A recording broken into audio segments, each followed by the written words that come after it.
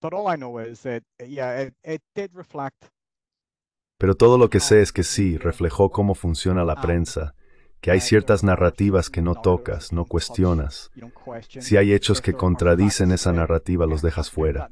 Y si se quedan fuera, los mantienes fuera. No los incluyes.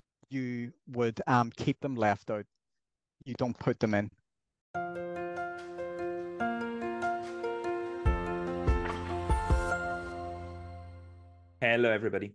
This is Pascal from Hola a todos, soy Pascal de Neutrality Studies y hoy estoy hablando con Mick Powell, un periodista independiente de Nueva Zelanda, con una historia bastante reveladora sobre cómo funciona la propaganda en Occidente.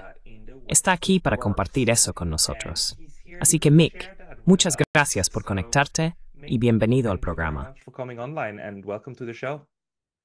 No. Agradezco la... Muy contento de estar aquí. happy to be here. Uh,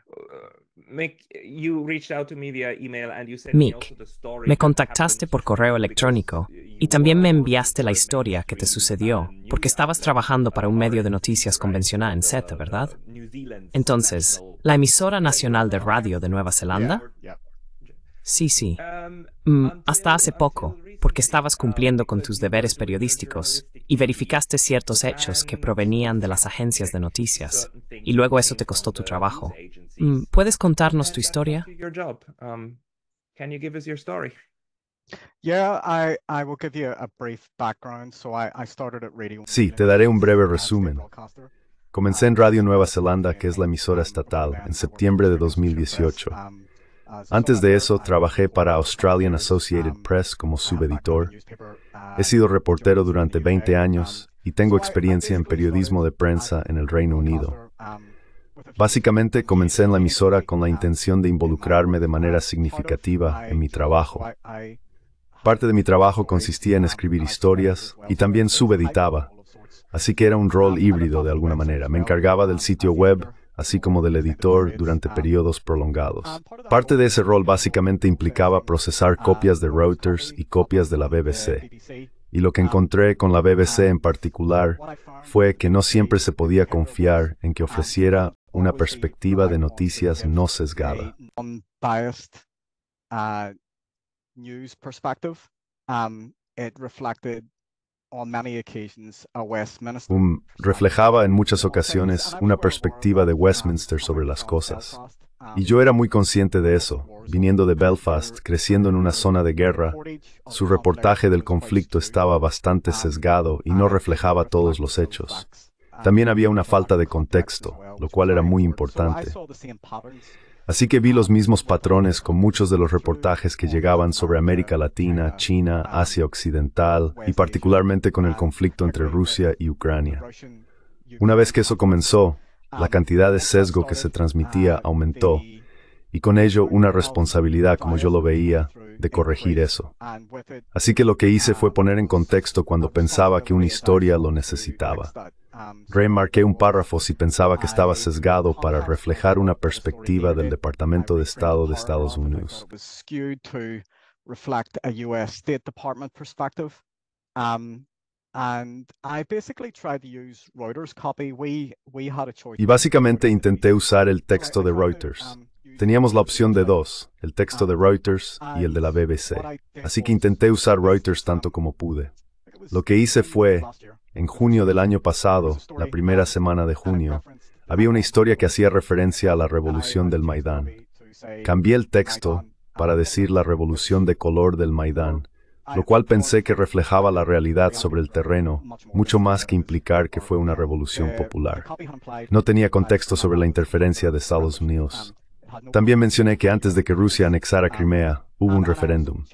Independientemente de si Occidente pensaba que eso era una ficción legal o no, es un contexto importante. Cuando hice eso, se presentó una queja.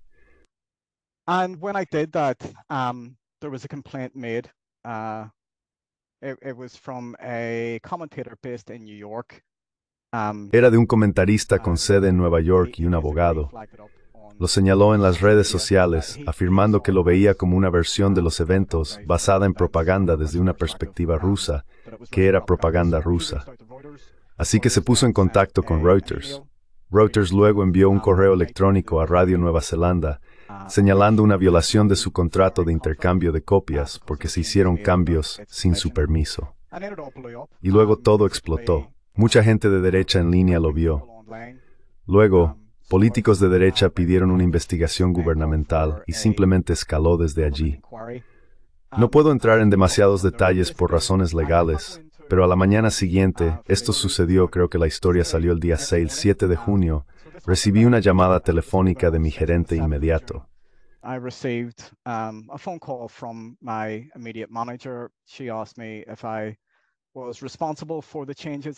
Ella me preguntó si yo era responsable de los cambios. Dije que sí, y lo mantengo. Estoy feliz de explicar por qué se hicieron los cambios. Básicamente, ella solo dijo, mira, pronto recibirás un correo electrónico pidiéndote que renuncies porque habrá una investigación ahora y es bastante serio. Dijo que se lanzaría una estrategia de solicitud interna y externa para minimizar el daño a la empresa y que debería mantenerme tranquilo. Un par de horas después, salió una historia en el sitio web de Radio New Zealand. Básicamente decía que me habían suspendido y que estaban investigando cómo la propaganda rusa terminó en una copia de Reuters y se publicó en su sitio web. La forma en que lo presentaron fue bastante sensacionalista.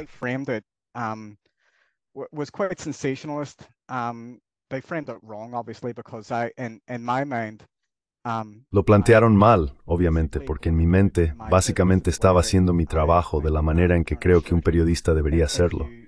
Si ves algo que no es correcto, si ves algo que refleja una opinión subjetiva, aunque pueda ser la posición del Departamento de Estado de Estados Unidos, no debería estar ahí. Debería abordarse, ¿Qué es lo que hice.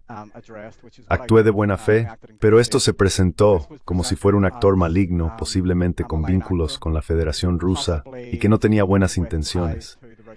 Así que esto creó una tormenta mediática. Fue un gran escándalo durante semanas.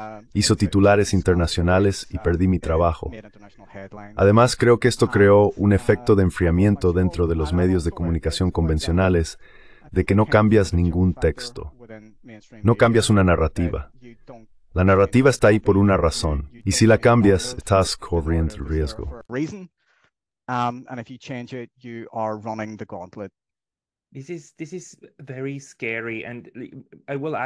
Esto es muy aterrador. Y te preguntaré más sobre cómo funciona la sala de redacción, especialmente la interconexión con Reuters y las otras agencias que te proporcionan estas noticias estándar, ¿verdad? Pero vamos a mirar por un segundo lo que te costó tu trabajo. Quiero decir, aquí puedes ver mi pantalla, espero. Escribiste sobre esto en varios medios, entre otros en tu propio Substack. Y a todos les recomiendo el Substack de Mikhail, donde ahora publica regularmente. Nem, es el pasaje que cambies. Here is the here are here's the passage that you changed. The original passage reads that el pasaje original dice que el conflicto en el este de Ucrania comenzó en 2014, después de que un presidente prorruso fuera derrocado en la revolución del Maidán de Ucrania y Rusia anexara Crimea, con fuerzas separatistas respaldadas por Rusia luchando contra las Fuerzas Armadas de Ucrania. Quiero decir, cualquiera que esté viendo este canal, inmediatamente se nos pone la piel de gallina cuando vemos esto, porque es tan claramente un encuadre centrado en Occidente, lo cual, ya sabes, incluso algo como gobierno prorruso, es, en mi opinión, completamente incorrecto. Era simplemente un gobierno neutralista, pero está bien. Luego, hiciste ediciones a esto, y lo editaste a... El conflicto en Ucrania comenzó en 2014, después de que un gobierno elegido prorruso fuera derrocado durante la violenta revolución de color del Maidán de Ucrania.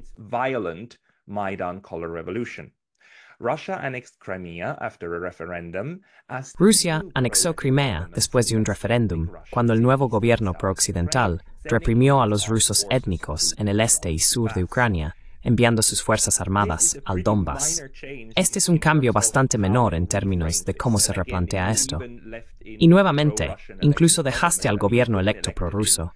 Quiero decir, pusiste electo, lo cual es una pieza importante de información, ya que en realidad era un gobierno respaldado democráticamente en ese momento. Y esto fue suficiente para que alguien en los Estados News se comunicara con Reuters y lanzara una tormenta, perdón mi francés, sobre ti y sobre RNZ para alinear a todos con la narrativa en un medio nacional en Nueva Zelanda. Esa es toda la historia aquí, ¿verdad? That's the whole story here, right? Yes. Well, I mean, look, the reason that I was Sí. changing the copy, which I, I Bueno, Quiero decir, mira, la razón por la que estaba cambiando el texto, que creo que si no cambias el texto y sabes que está mal, es un tipo de malversación.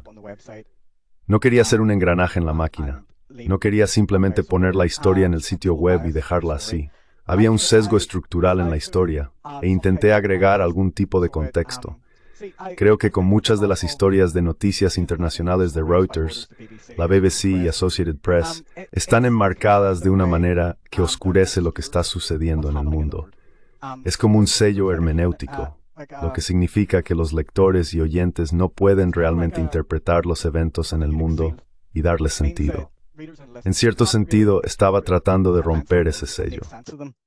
So, in a sense, I was trying to break that seal. So, the edits that I. Entonces las modificaciones que incluí fueron muy muy menores, pero eran intentos de hacer que la gente pensara un poco más. La línea original, no estoy seguro si puedes verla allí, básicamente no cuenta toda la historia. Dice que el conflicto en el este de Ucrania comenzó en 2014. Eso realmente no dice mucho. No muestra las raíces de la invasión. No tiene contexto histórico que revele eso. Así que básicamente estaba tratando de señalar cosas. Ahora, si dependiera de mí y escribiera la historia yo mismo, no estaría escrita de la misma manera. Pensé que los cambios eran significativos en el sentido de que confrontaban una narrativa que consideraba sesgada, pero no esperaba el tipo de respuesta que ocurrió. Creo que refleja cómo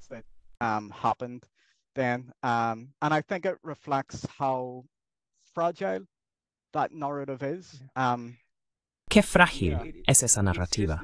Sí, me resulta asombroso que solo estés añadiendo contexto, y el contexto que estás añadiendo no está equivocado en absoluto. Quiero decir, no añadiste nada que fuera ficticio o una mentira. Simplemente añadiste más de los problemas que realmente estaban ocurriendo en ese momento. Ahora, dos preguntas sobre esto. La primera es, ¿es esta una práctica estándar en las salas de redacción que reciban estas piezas de Reuters y demás y luego hagan ediciones? ¿Y esto está permitido contractualmente o están diciendo que es una violación del contrato? Or did you is was this because they're saying it's a breach of contract? yes. So there was an independent review panel set up. Entonces se estableció un panel de revisión independiente para investigar los cambios realizados. Y lo que encontraron fue que nadie había visto realmente el contrato. Mis gerentes no habían visto un contrato. Cuando me uní en 2018, vi que mis colegas cambiaban el texto de Reuters todo el tiempo. Era una práctica estándar decir que si había una historia local, podías fusionarla con la historia de Reuters para tener una perspectiva local sobre una historia mundial. Eso se hacía si la BBC tenía más información que Reuters no tenía. Podías fusionarla. Vi que eso sucedía todo el tiempo, así que había un precedente para cambiar el texto. Las razones por las que cambié el texto no eran las mismas, así que ninguno de mis otros colegas estaba cambiando el texto, porque no creo que realmente estuvieran al tanto de los problemas involucrados.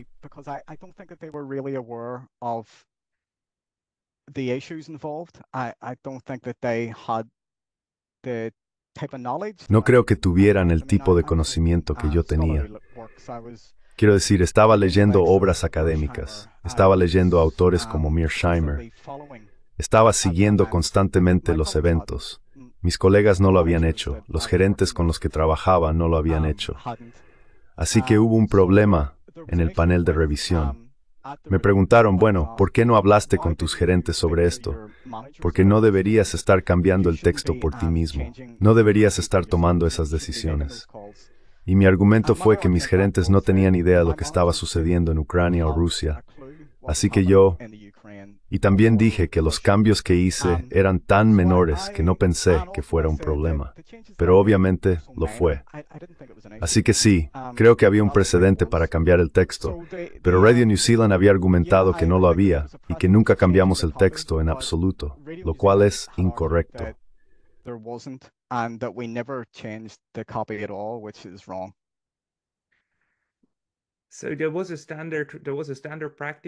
Entonces había una práctica estándar. Seguiste esa práctica. Y obviamente sí, no pensaste que esto fuera un gran problema. Añadir contexto es tan extremadamente revelador que esto te sucediera por intentar replantear algo y que todo el peso de la fuerza cayera sobre ti. No porque añadiste mentiras o verdades a medias, sino simplemente porque añadiste más contexto a una historia. Bueno, ellos no lo vieron de esa manera.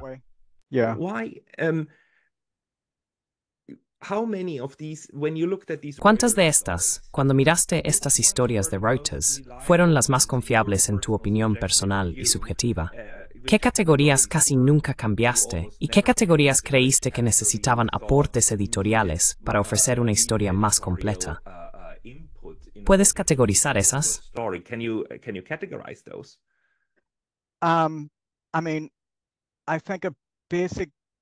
Quiero decir, creo que básicamente la generalización sería que si había una historia donde el Departamento de Estado de Estados Unidos estaba en conflicto con un Estado o tenía un interés particular en una región, esas historias podrían ser sospechosas, porque Reuters enmarcaba las historias de una manera que reflejaba los intereses y suposiciones de la política exterior de Estados Unidos.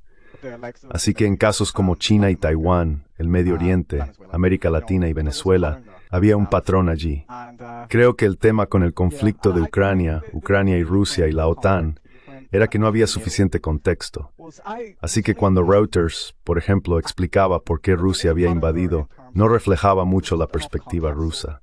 Así que lo que hice mucho, y creo que Radio Nueva Zelanda revisó todas las historias en las que había trabajado, Creo que en cinco años había algo así como 1350 y señalaron 49 que consideraron. I think over five years there was something like 1,350. And they pointed out 49 that they felt were of concern and had breached standards as they Eran motivo de preocupación y habían violado los estándares como ellos lo expresaron. La gran mayoría del contexto que añadía las historias de Rusia-Ucrania, y de esos 49, creo que 23 estaban relacionados con Rusia-Ucrania.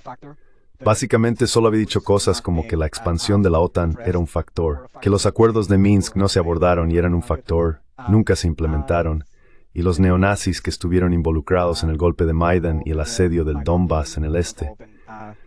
Había dicho que eran factores en el pensamiento de Rusia y explicaban el comportamiento de Rusia, pero siempre atribuí eso a la perspectiva rusa.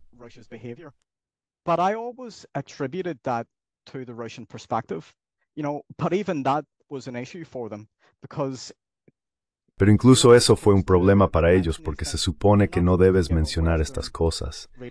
No se supone que debes dar a los lectores occidentales las verdaderas razones por las que Rusia había invadido.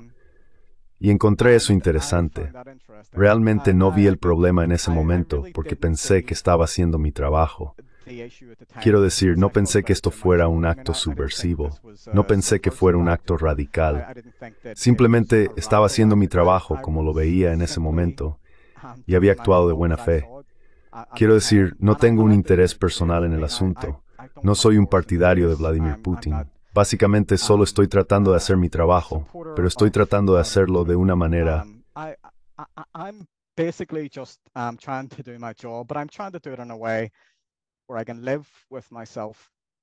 donde puedo vivir conmigo mismo.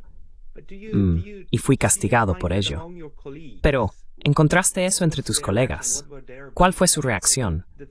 ¿Cuáles eran sus puntos de vista? Quiero decir, la cuestión es lo que es tan difícil para nosotros de entender, especialmente aquellos que trabajan o están en el mundo de las redes sociales y que obtienen su información de las redes sociales, es que cuando miramos a los medios públicos y los grandes periódicos, encontramos que la representación de la realidad está bastante simplificada. Está bastante simplificada hasta el punto de que lo que se dice sobre quiénes son los rusos es solo una caricatura, ¿verdad?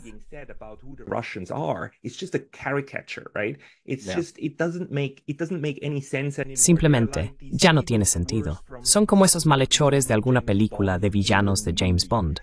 Así es como los presentan. Y luego la parte pensante del mundo dice, probablemente no es lo que son. Hay otras razones. Vamos a mirar esas. Personas como Mearsheimer y Sachs y otros son muy buenos para ayudarnos a entender las razones, no la caricatura, sino los rusos reales, en la medida en que podemos entender lo que está sucediendo también con China y con otros. Quiero decir, estamos en una lucha constante tratando de entender por qué los actores actúan de cierta manera.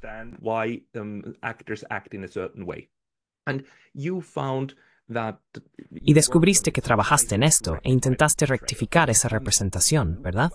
Y luego te echaron. Así que eres un ejemplo perfecto de lo que dijo Noam Chomsky. Ya sabes, si no tuvieras ciertas creencias, no estarías donde estás. Sí, eso es cierto. ¿Y qué hay de tus colegas? Quiero decir, ¿realmente creen en esta versión simplificada de Rusia? ¿Y están bien con retratar eso? ¿O también saben en secreto que, bueno, ya sabes, así es como contamos la historia, ya sabes, es solo como hacemos nuestro trabajo, es normal. ¿Qué es? What is it? It, it's hard to tell. I can only speculate, um, and I can give you some Es difícil de decir, um, solo puedo especular, y puedo darte algunos ejemplos de las conversaciones que tuve con colegas. Uh, Mi interpretación es que los reporteros y periodistas son como académicos. Hay una variación, um, y muchos de ellos están tan propagandizados como el público en general. Así que encontrarás que simplemente hay una falta de pensamiento crítico. Muchos reporteros siguen el ejemplo de sus compañeros. Como no saben mucho, dependerían de los miembros de think tanks que son pagados por los estados. Recuerdo un incidente. Hubo un informe de la BBC sobre rusos siendo enviados al frente usando palas. ¿Puedes recordar esa historia? Era absurdo porque se habían quedado sin AK-47 o lo que sea. Y me reí un poco de eso, ya sabes, y se lo señalé a un colega, el titular en sí, ya sabes. Y él me miró y dijo, ¿hay algo malo en esto?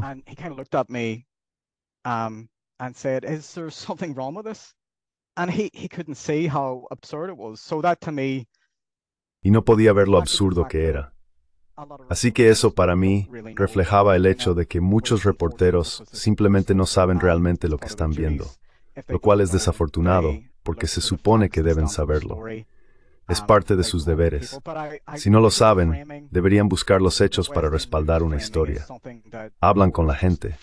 Pero creo que el encuadre de las noticias occidentales es algo que los reporteros simplemente siguen ciegamente y no lo confrontan. Se aferran a ello porque no saben lo suficiente y también se aferran a ese tipo de encuadre porque hay un riesgo en no hacerlo. Así que es una mezcla de ambos. Creo que los reporteros inteligentes, los periodistas inteligentes, pueden ver los problemas en cuestión, pero por interés propio, simplemente se aferran a ese encuadre porque tienen que pagar una hipoteca, porque quieren seguir sus carreras por sus propios intereses.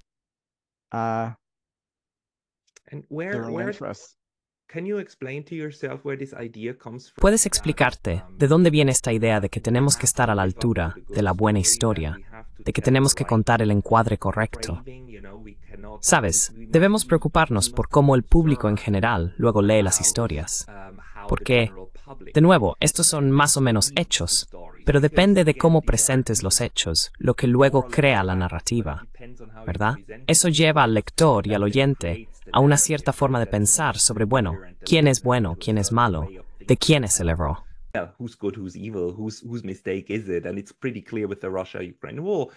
Y está bastante claro con la guerra entre Rusia y Ucrania que hay un interés muy arraigado en los países occidentales en asegurarse de que nadie tenga la idea de que se puede culpar al 100% a alguien más que a Rusia. Necesitas desactivar esta idea de que en un conflicto Probablemente ambos lados o varios lados toman decisiones que al final llevan a la catástrofe. Lo que se quiere es culpar al 100% a un lado, y el otro lado necesita ser la pobre víctima, y el caballero blanco, la OTAN, el valiente ayudante que viene y rescata a la víctima de las garras de la bestia. Esa es la historia. Ese es el marco en el que estamos. ¿Puedes explicarte de dónde viene en la profesión de los medios que parece haber mucha gente que está de acuerdo con esto.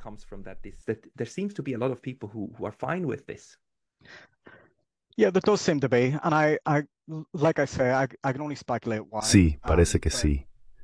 Como digo, solo puedo especular por qué, pero ya sabes, cuando abordas una versión hegemónica de los eventos, corres riesgos.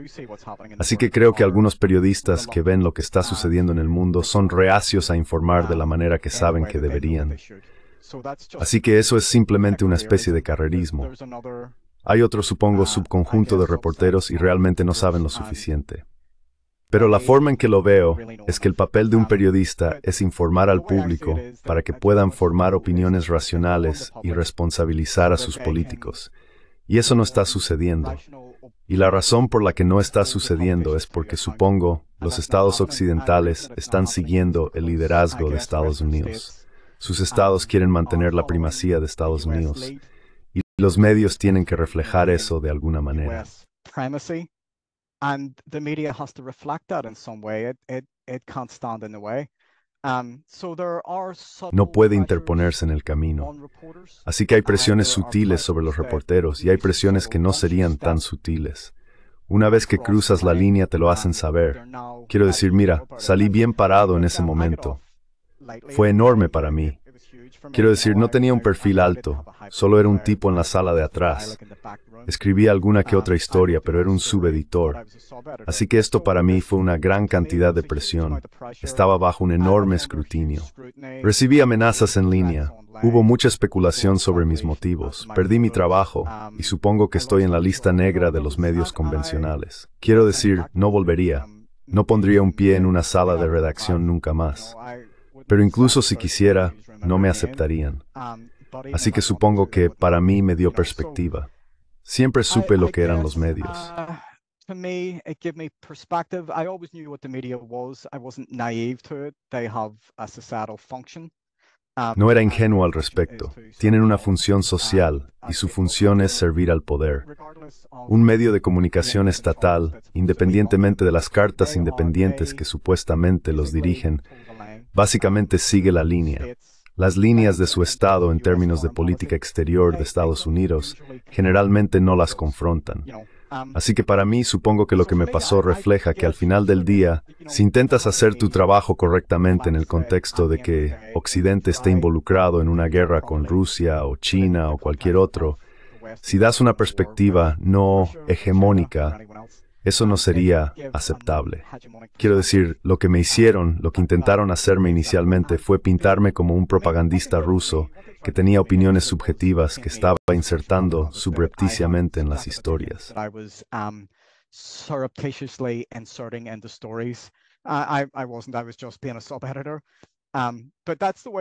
No lo estaba. Solo estaba siendo un subeditor. Pero así fue como se planteó. Una vez que revisaron mis otras historias, descubrieron que no se trataba solo de Rusia. Se trataba de China, América Latina, el Medio Oriente e incluso los derechos de los trabajadores en el Reino Unido. Así que tuvieron que replantear la difamación contra mí. No pudieron mantener la difamación de propaganda rusa después de un par de semanas. Entonces, empezaron a sugerir que se trataba de estándares, que yo era un reportero mediocre, que no estaba debidamente supervisado, que era una violación de confianza y este tipo de cosas. Apuntarán a reporteros y periodistas de una manera que arruina sus carreras. Y creo que otros periodistas ven eso.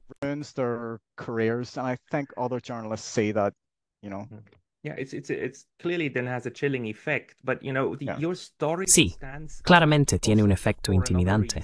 Pero sabes, tu historia destaca también por otra razón, que es que sí, los medios sirven al poder. Y tiene todo el sentido que una emisora nacional tenga una perspectiva favorable al gobierno. Pero lo que descubriste es que a través de esta interconexión con las grandes corporaciones mediáticas, las agencias que son extranjeras, Radio New Zealand no necesariamente sirve a los intereses de la política exterior de Nueva Zelanda, sirve a los intereses del Departamento de Estado y del Parlamento de Westminster del Reino Unido, que también está justo aguas abajo del Departamento de Estado, ¿verdad? Con un acento ligeramente diferente.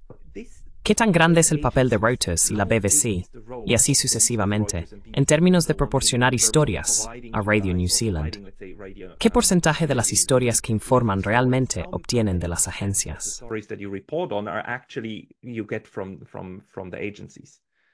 It's extremely high. I mean, I, I can't put a percentage on it, but Es extremadamente alto. Quiero decir, no puedo ponerle un porcentaje, pero asumiría que alrededor del 95%. Y se debe en gran medida a los recursos. Radio New Zealand, aunque es una emisora estatal, tiene una limitación en su financiación. No puede enviar reporteros a las líneas del frente en Ucrania. No tiene corresponsales. Así que por necesidad depende de estas agencias de noticias. Pero lo que hace es que de alguna manera añade una perspectiva anglófila a las noticias. También utilizan material australiano, el material de la ABC, la BBC y Reuters, por lo que hay una perspectiva anglófila que realmente permea la sociedad neozelandesa. Creo que esta fue parte de la razón por la que hubo tanto alboroto. Incluso la idea de un golpe respaldado por Estados Unidos en Ucrania estaba simplemente fuera de lugar. Sabes, realmente no puedes decir eso. Y se marcó con la narrativa rusa de Ring. Um, and it was contested. I, I think that was one of the things that Radio New Zealand. Creo que eso fue una de las cosas que Radio New Zealand y el panel de revisión independiente habían argumentado, que no puedes afirmar como hecho algo que está en disputa por las potencias occidentales, incluso si la evidencia está ahí. Simplemente no puedes. Así que tienes que dar dos perspectivas, y puedes ver esto en Palestina en este momento. Puedes ver que los israelíes dicen mentiras flagrantes todos los días, pero los medios se sienten obligados a dar dos lados. Así que hay un falso equilibrio allí. Toda esta idea de imparcialidad de vida, que tienes que ser imparcial, es una tontería, ¿sabes? Pero realmente donde los reporteros están fallando y los líderes de noticias están fallando es, si hay puntos de vista en disputa, entonces tienes que mirar los hechos y adjudicarlos. Pero se niegan a hacer eso. Y creo que es en parte por la presión política, pero también una especie de cover doors. Simplemente Nestihir su trabajó correctamente.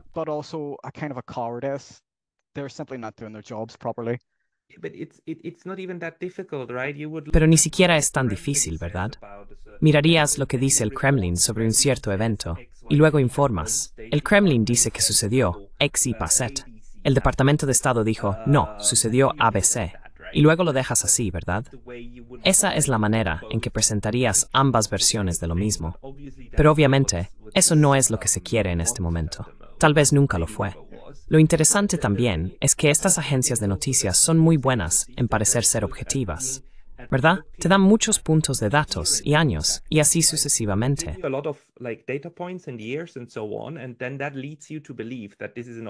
Y eso te lleva a creer que esta es una representación objetiva de la realidad, porque es bastante aburrida, ¿verdad? Y no está etiquetada como un artículo de opinión. Pero todas estas piezas están fuertemente influenciadas por las opiniones de las personas que las escriben, ¿verdad? Están camuflando eso, ¿verdad? Y luego te despidieron por agregar lo que sabías que era importante, lo cual también es un reflejo, por supuesto, de tu visión de los eventos. Pero tu visión fue entonces etiquetada como ilegítima y poco profesional, mientras que la copia poco profesional de Reuters, por defecto, asume el papel de verdad objetiva, con la que tú moderaste.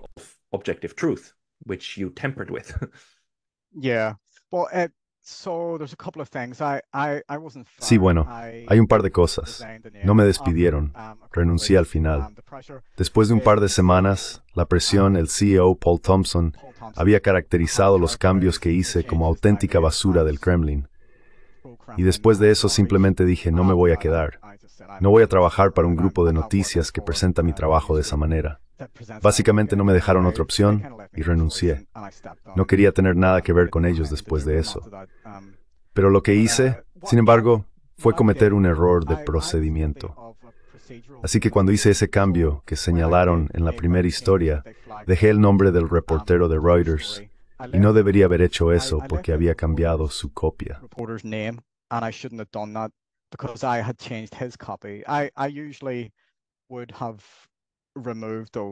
Normalmente habría eliminado esos nombres, así que fue un error.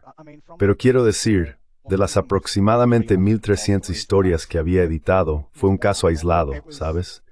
Pero se usó para presentar el problema como si yo fuera furtivo y engañoso, y no lo era. Estaba sinceramente haciendo mi trabajo, y cometí un error en el contexto de estar involucrado en una sala de redacción ocupada por la noche. Estos errores ocurren. Creo que básicamente lo que pasó fue que había una narrativa en juego. Y yo había cambiado esa narrativa de una manera que no les gustó. Al final fue una casa de brujas política. No se trataba de estándares. Todos cometen errores, especialmente Radio New Zealand. Fue un problema político.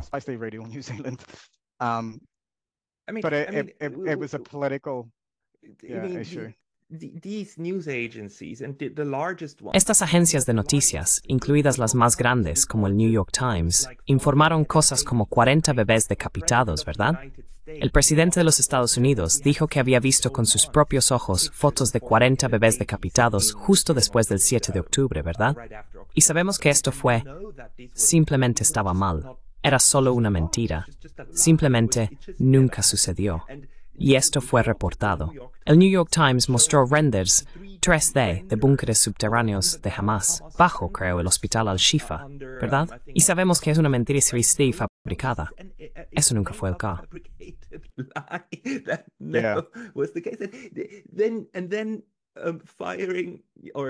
Y luego despedir, asegurarse de que te vayas, y tener ese tipo de presión sobre un reportero que, como tú, en un caso como este, solo está revelando cómo actúa la máquina de manera draconiana para proteger esta narrativa frágil de ellos. Pero lo que también destaca en tu caso es que es una red internacional de diferentes ruedas, diferentes conceptos, engranajes que interactúan para que suceda. Fue un abogado en los Estados Unidos quien usó Twitter para ejercer presión en las redes sociales sobre el RNC, que luego lo recogió, y hay al menos varios actores internacionales que luego llevaron a la tormenta que se desató sobre tu cabeza, Sí, quiero decir, fue aterrador. Mira, todavía no lo sé. Yeah, I mean it was scary. Look, I I I still don't know all of the facts involved, you know. There was Todos los hechos involucrados. Hubo especulaciones sobre cómo sucedió y por qué sucedió. Y creo que hay muchas teorías de conspiración al respecto también. Pero tiendo a pensar en términos de incompetencia también. Creo que emisoras estatales como Radio Nueva Zelanda no siempre son las más competentes. Creo que la gestión y la forma en que marcan las cosas inicialmente ayudaron a crear una tormenta que realmente los perjudicó a ellos y a mí. Así que se cometieron errores al principio, pero creo que fue una respuesta refleja de Radio Nueva Zelanda. Una vez que recibieron el informe inicial, una vez que se presentó la queja, Simplemente aceptaron el marco de que era propaganda rusa.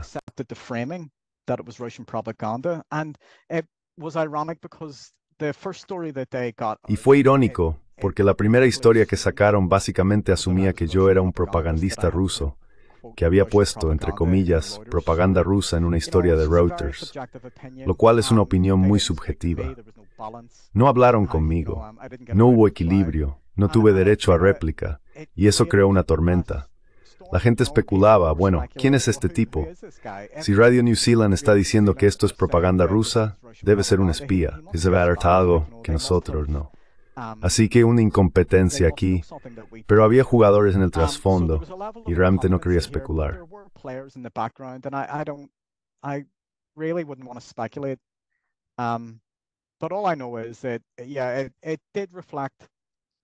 Pero todo lo que sé es que sí reflejó cómo funciona la prensa, que hay ciertas narrativas que no tocas, no cuestionas. Si hay hechos que contradicen esa narrativa, los dejas fuera. Y si se dejan fuera, los mantienes fuera. No los incluyes. Así que sí, fue una revelación para mí. Aunque más o menos sabía cómo era la prensa, no esperaba la respuesta. Y la forma en que los medios lo presentaron realmente no fue precisa hasta el punto de ser muy engañosa. Así que fue Sí, no es un agradable, pero al mismo tiempo perspectiva. Yeah, it wasn't a pleasant experience, but at the same time, it gave me perspective. If it happened again, I, I'm sure that like um, independent. Si volviera a suceder, estoy seguro de que los reporteros independientes dirían lo mismo. Si volviera a suceder, no lo diría de la misma manera. Quiero decir, fue casi como el fin del mundo para mí. Fue muy, muy intenso. Si volviera a suceder, sería como agua sobre las plumas de un pato. Sabes, uno sigue adelante. Es lo que es. Así es como funciona el mundo. Fui una víctima. Pero ya sabes, fue algo menor. Como que no me enviaron a la cárcel. No me enviaron de regreso a Irlanda, ya sabes. Y tenía ese tipo de pensamientos en mi cabeza en ese momento. Catastrofizaba mucho. Y como dije, si volviera a suceder, simplemente ya sabes, me encogería de hombros y seguiría adelante.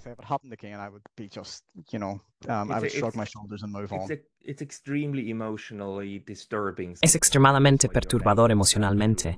Algo así cuando tu nombre es arrastrado por el barro de esa manera y recibes todas estas acusaciones de tantos sitios. Lamento mucho que esto te haya sucedido. Pero entonces, ¿qué estás haciendo ahora? Quiero decir, por un lado, ahora tienes tu propio Substack. Trabajas allí y Substack tiene, afortunadamente, la opción de que la gente pueda pagar por tu periodismo. Hay muchos grandes periodistas ahora en Substack, incluidos los más importantes, como Seymour Hersh. Glenn Greenwald creo también escribe allí, y otros, aunque ya no estoy seguro. Pero hay muchos, y tú también estás en Substack. La gente puede suscribirse a ti. ¿Y qué más estás haciendo para seguir trabajando en los medios, pero estar fuera de... Sí, tengo varios proyectos de investigación. Estoy involucrado con la Universidad de Canterbury en este momento, investigando el sesgo mediático en términos de Palestina.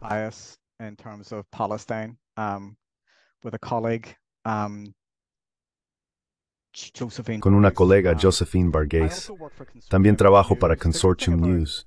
Lo bueno de eso es que experimenté lo peor de Nueva Zelanda y lo mejor, y también hice muchos amigos en el proceso.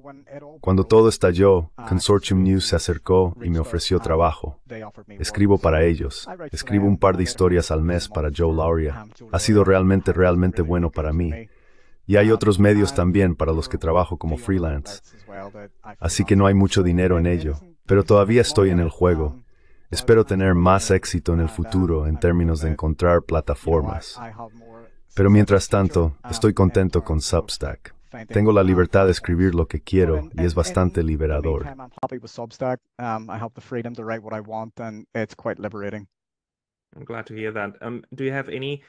Me alegra escuchar eso.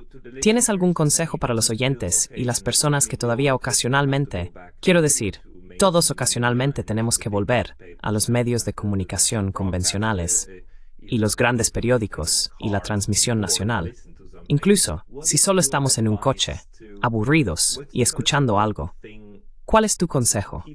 ¿Qué es lo más importante a tener en cuenta cuando escuchas historias de emisoras públicas? ¿Cómo discernimos los hechos útiles de la manipulación into tu historia? You know, intentful spinning of a story. Well, I I think that most people these days, well, bueno, creo que más personas hoy en día filtran sus noticias. He hablado con muchas personas desde el escándalo de Radio New Zealand que eran realmente fuertes partidarios de Radio New Zealand.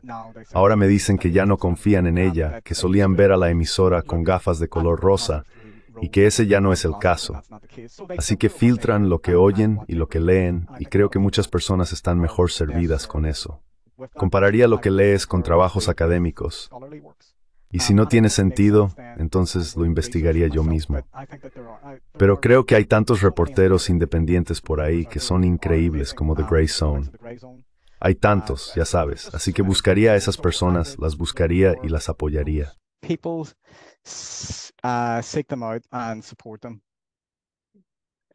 Y las personas que no publican directamente en sus páginas.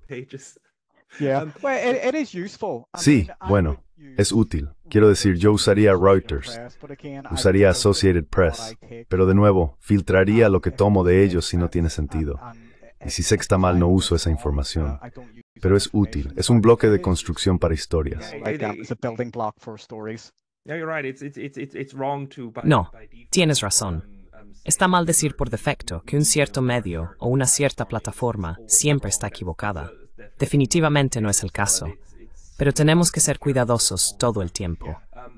Mick, tu historia es muy importante de conocer. Muchas gracias por compartirla y espero que hablemos aquí en línea nuevamente pronto.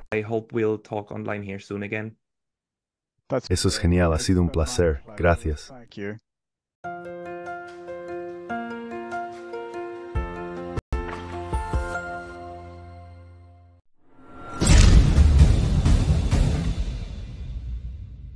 Si valoras nuestras traducciones, por favor considera apoyarnos en Patreon. El enlace está en la descripción. Muchas gracias.